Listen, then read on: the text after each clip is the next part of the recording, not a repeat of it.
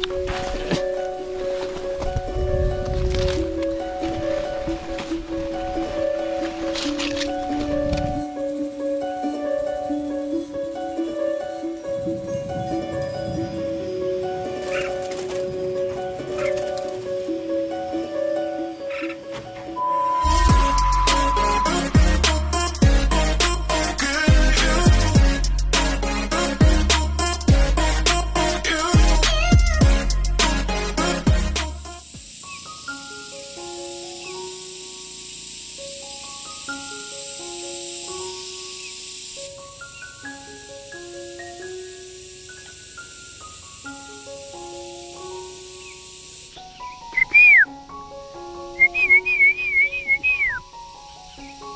Khả năng cao bên này chắc chắn là sẽ có một cái tổ chim mà trà mào bông.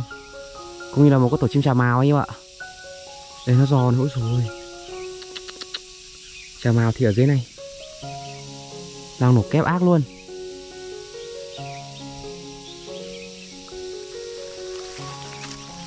Ok Hero mình à, xin chào mời tất cả anh em nhá. Chúc anh em một ngày mới về. Hôm nay là mình có ghé thăm cái tổ chim chòe than. Đây mình à, quay vị trí của nó cho anh em xem luôn. Mấy hôm trước à lên thăm thì toàn quay dí vào cái tổ không à Quay cận cảnh ở bên ngoài cho anh em xem. Thì à, khu vực này chính là cái khu vực mà hôm trước mình à, có đuổi bắt một cái con là đuổi bắt một cái con chim mà chuối tiêu anh em nhé. Thì à, ra hôm sau là mình cũng lên khu này thì à, phát hiện ra cái tổ chè luôn. Thì à, đây này. Đây như này Có ba quả trứng. Hôm bữa là mình lên kiểm tra là Nó nở một con rồi. Thì à, ba quả trứng này là nó bị ung Nó lớn lên kiểu như là gần mọc lông ống rồi mà.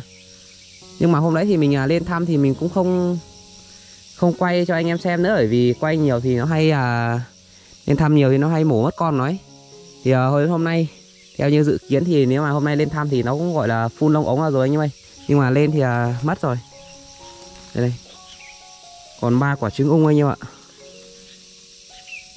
Nó để à, bốn quả nhưng mà chỉ còn, chỉ có một quả duy nhất là nó nở thôi. Lý do thì mình cũng, gọi là, biết ăn áng rồi. Đây, anh em xem cái hốc này này. Nó quá là chật.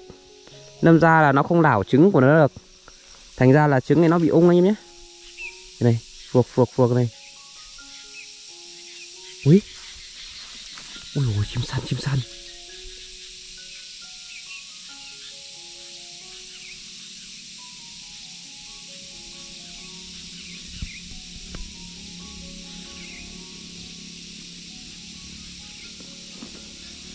Đây, rồi nhá ạ Ui xồi Chim săn. Khu vực này có chim săn thì khéo khi Hình như con Sika sao anh em ạ Vừa đấy lúc mà mình à, thấy nó đậu ở cái ngọn cây Ngọn cây tre này Mình còn tưởng nó là cái con chim mà nó về ăn von ve. Nhưng mà vừa đấy thấy nó lao tấn công cái con chim trà màu bông kia biết. Nhìn lại biết là đó là con Sika anh em ạ Ờ, à, Trà bông nó cứ quấn ở trên cây à, còn cây tre này chắc chắn là sẽ có tổ ở khu vực này rồi.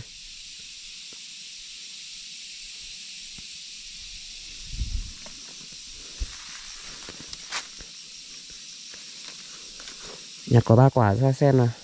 Mình sẽ à, lấy à ba quả trứng này ra đi để cho cái con chim chòe than nó còn biết là đường về làm lần nữa. Này ung hết này anh em ạ dung là nó kiểu à, thành nước ra hết này. Hỏng hết rồi. Cái hôm mà nó vừa mới nở ra quả đầu tiên ý cái nở ra nở ra quả đầu tiên kia là mình à, lên xem thì mình cũng quay. Lúc đấy là nó vừa mới nở thôi. Sau ngoài ra hôm sau thì à, được hai hôm thì mình lại lên xem. Thì lúc đấy là nó chuẩn bị mọc lông ống ra mà. Còn là ra hôm nay lên thì à, này còn đúng một cái nịp ba quả trứng.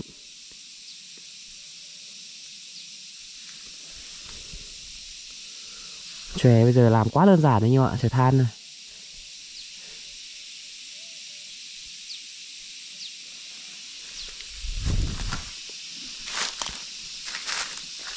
Cái này tổ con gì đây? Ô ôi chuột rồi cái này. Đây, nhìn nó có cái rác tưởng là tổ chim.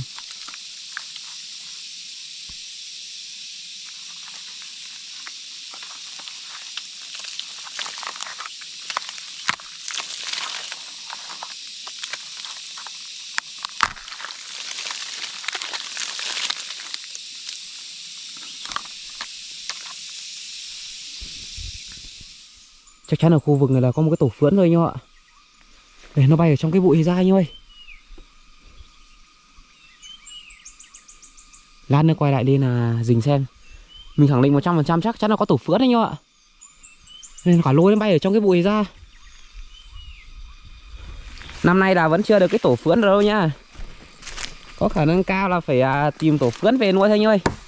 Tình hình là bây giờ mình sẽ à, lên thăm lại cái tổ chim cô dốc hôm qua là mình có phát hiện ra ở dưới này có một cái tổ chim cô dốc này.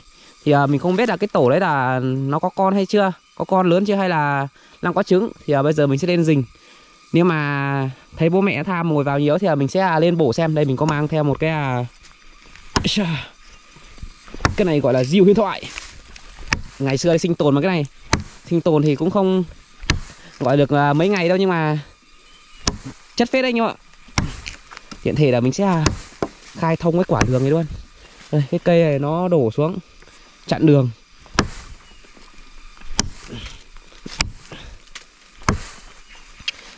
À, các cụ ngày xưa có câu 10 nhát dao không bằng một nhát dìu.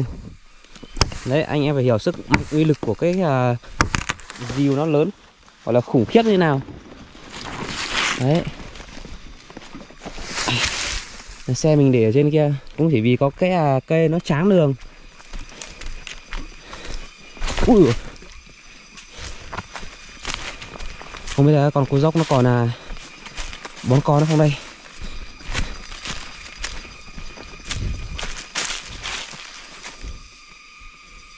Đây, dưới này như vậy bây giờ mình sẽ à, lợi một lúc. Xem là bố mẹ nó có về bón không nhé.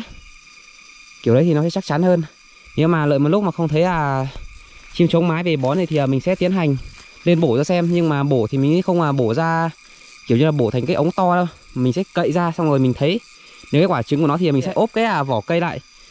Ok. Lợi đây. Đây còn nó ăn ghê lắm. Cô dốc là một loại chim mà nó ăn cực kỳ nhiều luôn. Để mà bố mẹ nó đi kiếm được à, đủ mồi để nuôi con nó thì cứ phải gọi như cái máy luôn anh em ạ Nó chạy đi kiếm mồi này.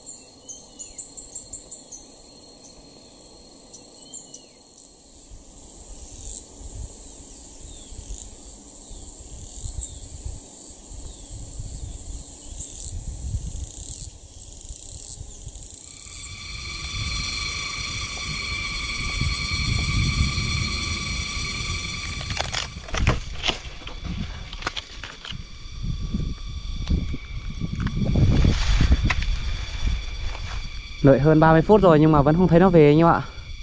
Mình để ý kỹ này. Cái thùng cây Không phải à, gọi thùng cây cũng đúng. Gọi là cái à, khúc cây đấy Cái khúc cây không chỉ có mỗi một tổ đâu anh ơi Mà bên này nó có hai tổ luôn cơ này. Đỉnh thật. Có hai tổ luôn. Ở trên này một tổ này Ở dưới một tổ. Xong rồi cái tổ hôm qua anh phát hiện ra ở bên kia đó. Ba tổ. Hiện tại là phát hiện ra nè. Thì không biết là nó đang ở cái khúc nào. Ở cái à, ống nào nữa chắc là mình sẽ trèo lên xem thôi em nhé. Trèo lên gõ thử nếu mà có tiếng lộng thì cục cục kịch cạch thì à, chắc chắn là bên trong kia có con non. Trèo lên xem thử anh em ơi. Lên thế này rồi mà. Ok.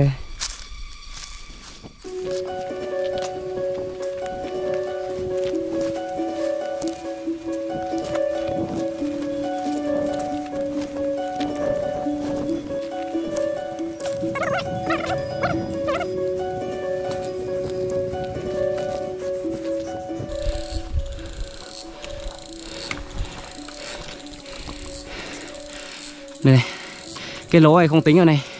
Ở trên này có hai cái nữa. Cái này là năm ngoái là mình bổ ra ở chỗ này rồi anh em nhé. Đây. Đây, cái ống này là Năm ngoái là mình bổ ra này. Thì năm nay hôm qua là mình phát hiện ra Cái chỗ này. Đó. Còn ở trên này thì có hai cái nữa. Có định.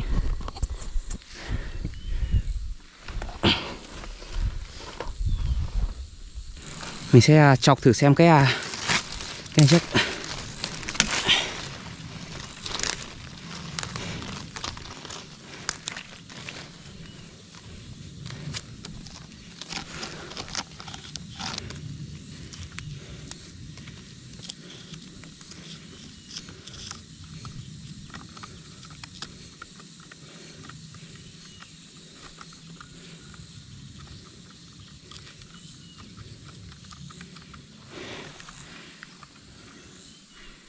chứ không nghe gì nhưng mà hay nó hại, hại ở hai cái ống trên kia nhở?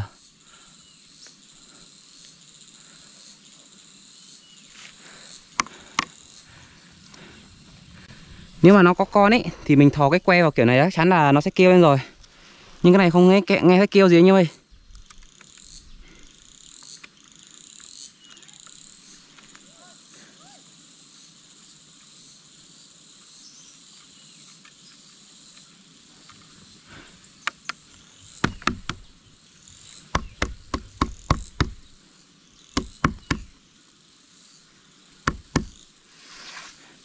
Cái đoạn trên này thì nó mục chắc là mình sẽ không trèo lên nữa.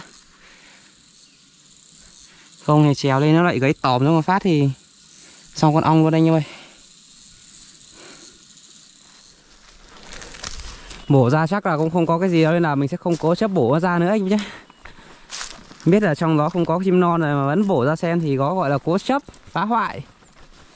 Thôi để à, khi nào mình phát hiện được cái tổ nào mà kiểu như là nó à, thấy con nó bên trong kêu rồi. Mình có tìm hiểu ấy vừa nãy là mình có tìm hiểu là thường thường là cua dốc khi mà nó đã lớn rồi thì cần mình à, đập vào cái à, gốc của nó cái chỗ nào mà có tổ ấy. Thì à, chắc chắn là con nó sẽ tưởng là bố mẹ nó bay về thì nó sẽ kêu lên luôn. Và mình ở đây cũng có thể nghe thấy luôn anh em ạ. Trong vòng bán kính 10 đến là 15 mét nè. Nhưng mà cái tổ thì à, lên trên đấy gó nó còn không kêu rồi mà. Bây giờ mình sẽ chuyển đây là tìm tổ chim phướn ở trên này nhưng mà thấy con phướn nó lượn qua lượn lại.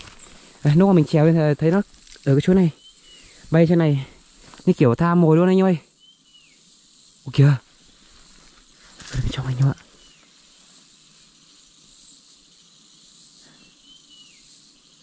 Chắc chắn có tổ rồi.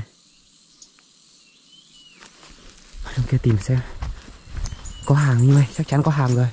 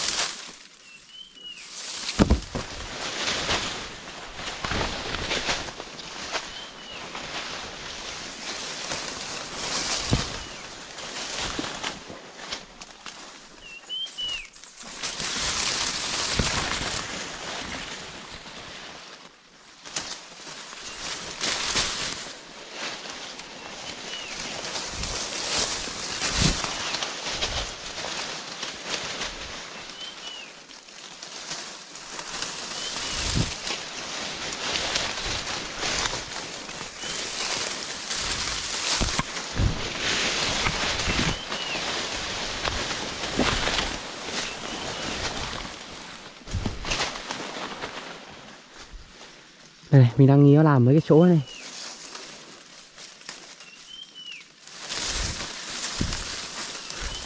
Thế nó bay ra bay vào mấy cái cành Chỗ mấy cái bụi này rất là nhiều luôn.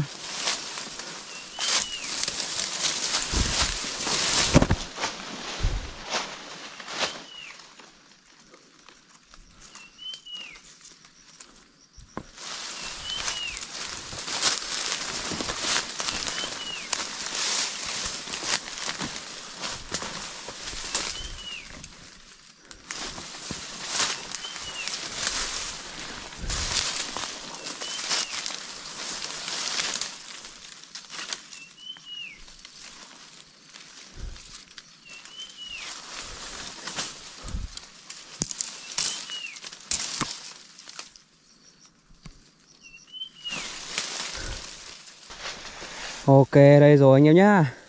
Anh em thấy gì chưa? Hai con đây em ạ đây. Quá vip luôn anh em ơi. Ok chưa?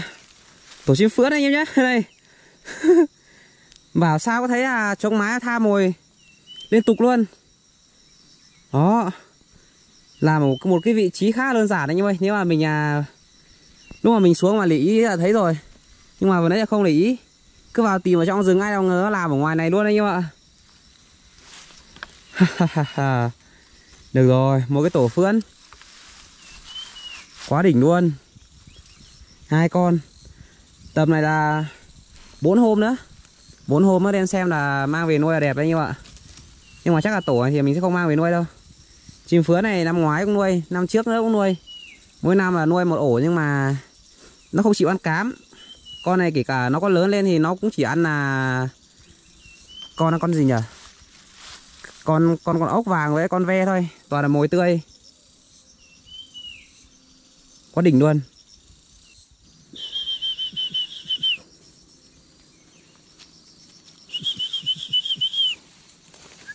Nó chưa dám mở miệng ra đâu.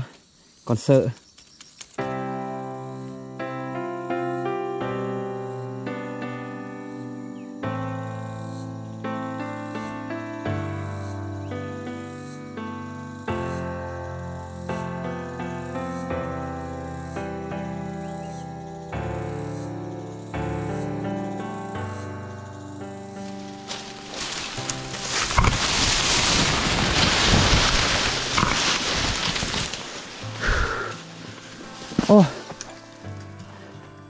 Chết mất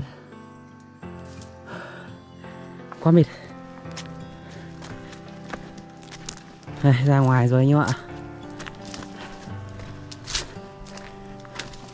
Ở khu vực này cũng có tổ chè than này Trước là nó có một cái tổ chè than ở trên cái à...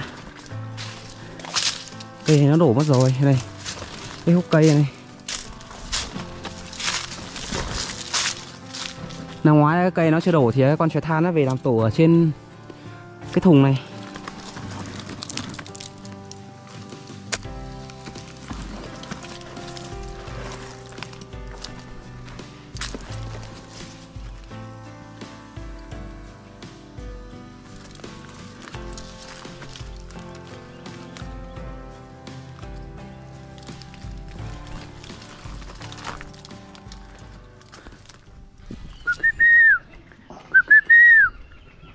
Nào vào lồng thôi. Vừa nãy là về mình có ghé vào và lấy cái con cô gáy Mà hôm trước mình à, mang xuống cho ông mình để mà bẫy. Nhưng mà cái con đấy thì không bẫy được anh em ạ. Bẫy cái hôm đấy là về hôm sau là cái à Cái con kia nó nhảy sập. Con kia nhảy sập nhưng mà nó lại nhảy cửa cái phần à, vị trí bên này này. Đâm ra cái vợt mình úp vào cái đầu của nó. Thế là từ cái hôm đấy là con chim đấy không biết là đi đâu luôn anh em ơi. Không thấy luôn. Nào vào trong vào trong vào trong vào trong vào trong. Đấy. Rồi Đẳng cấp luôn nào có nhớ nhà không đây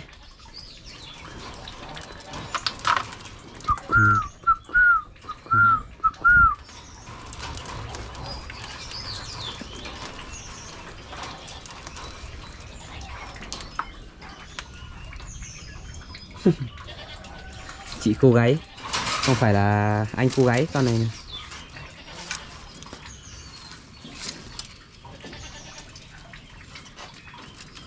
Nào lấy cái lồng vào ra đây. Mình đang có ý tưởng là mình sẽ tách cái con chim mà bìm bịp của mình ra anh em ạ. Tách con bìm bịp ra xong rồi mang ra ngoài vườn kia để treo. Treo cho nó quen là vườn quen nhà. Không biết là mình à, cho vào cái lồng này thì nó có hợp lý không nữa anh em ơi. Cái lồng phát chật. So với con chim bìm bìm này. Chắc là cho cái con này vào trong lồng này thì chỉ đúng là nằm được chứ không thể nào mà đậu ấy được xem vào nhỉ kiếm cái lồng nào vip vip tí anh em ơi pụt pụt pụt pụt pụt pụt pụt pụt pụt pụt pụt pụt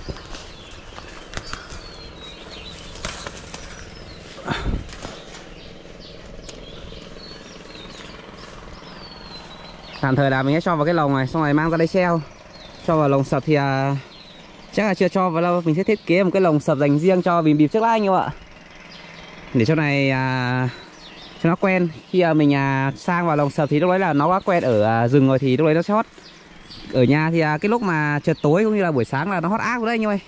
Bìm bìm này.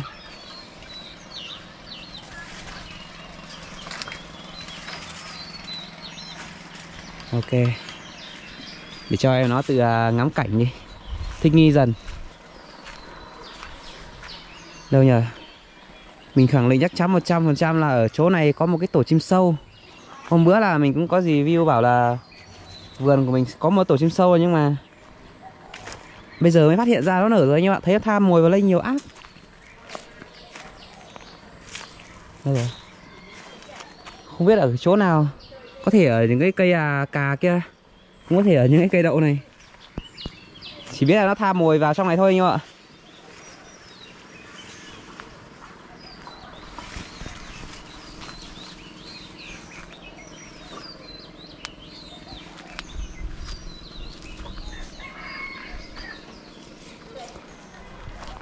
Xem màu xem nào. Màu sao đây?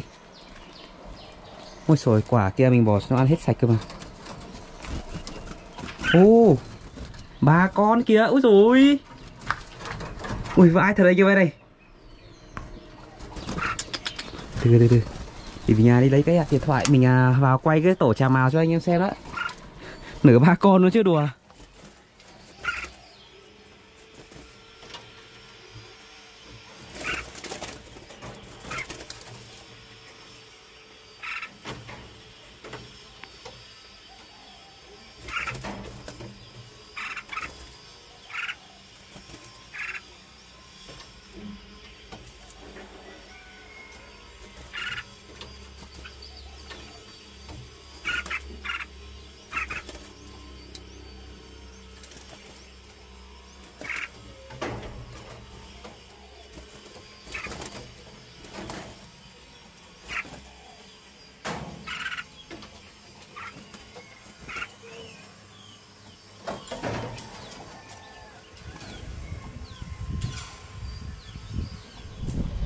Ok, phết rồi đấy anh em ạ. Ba con. Quá tuyệt vời. Này, chuối với à, hoa quả cho anh em ạ. Bao nhiêu ăn hết bấy nhiêu anh em ơi?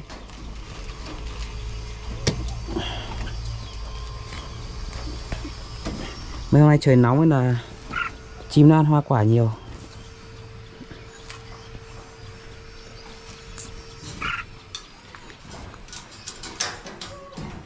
Nhà của chú mình ở dưới kia. Hôm nay cũng là nên trên mình chơi bảo là cũng ấp được một ổ rồi. Cái ổ đầu tiên. Thì à, nó đẻ được hai quả thì à, một con thì à, nở. Một quả thì nở một quả thì không nở. Xong rồi ổ thứ hai thì à, lại tiếp tục cho à, trông mái làm tổ. Nhưng mà nó đặc biệt ở chỗ là cái ổ chim của cái chú mình kia là không phải tách nó ra anh ơi. Chim non không tách nó ra. Chim non chỉ à, nuôi nó chỉ bằng hai đốt tay mà bố mẹ nó nó bắt đầu làm tổ cũng như đẻ trứng rồi. Đấy thì không biết là mình không tách ra thì nó có ổn không nữa nhưng mà cái ổ ấy nếu mà được ấy mình sẽ không tách ra mà sẽ để cho à, bố mẹ nuôi cho đến khi lớn. Và khi mà nó tự biết mổ ăn rồi thì à, mình mới à, tách nó ra. Kiểu đấy không biết là nó có hợp lý không anh em ơi? Nhưng mà chắc chắn một điều là con chim của mình nó rất là nhát. Cái không thể vào và ấy được rồi. Nhưng còn nếu mà mình tách ra thì à, nó sẽ tiếp tục à, sinh sản. Không biết là hai trường hợp một là để cho bố mẹ tự nuôi tự bón hai là à, mình tách ra thì à, trường hợp nào nó sẽ là hợp lý nhất anh ơi? Cũng như là hiệu quả nhất?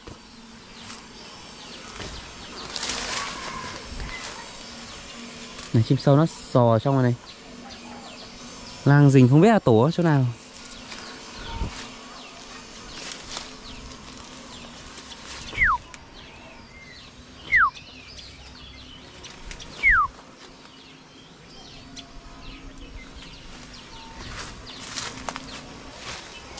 Nó tha mùi áp rồi nè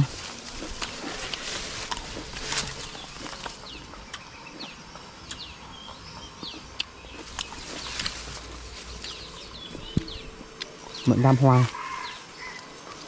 Quá ngon. Mùa nhãn thì mình ăn nhãn, mùa xoài thì mình ăn xoài. Mùa mận thì mình hái mận. Ui.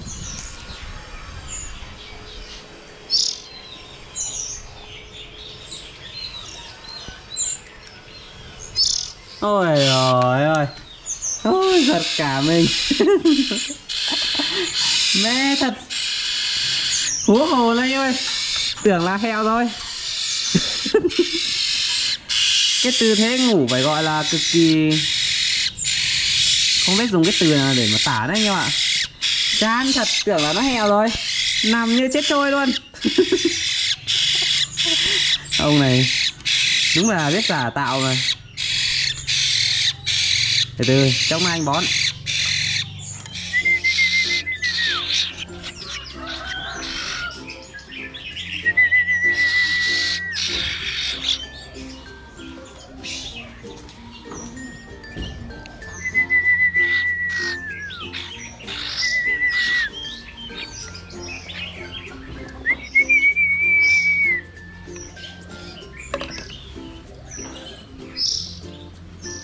Tàu há mồm quá quá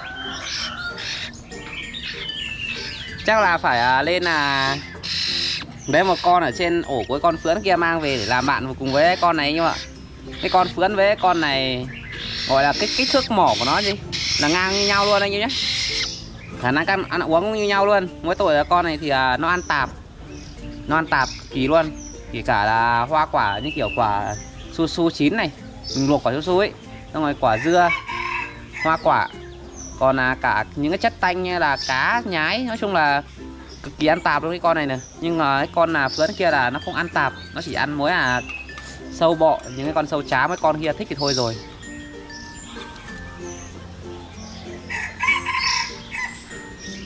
Ok thì à, chắc là video của mình à, cũng phép dừng lại đây nhé. Nếu anh em thấy video này hay thì à, cho mình xin một like, một đăng kênh. Cảm ơn các bạn nhiều. Hẹn gặp lại người video theo. Bye bye.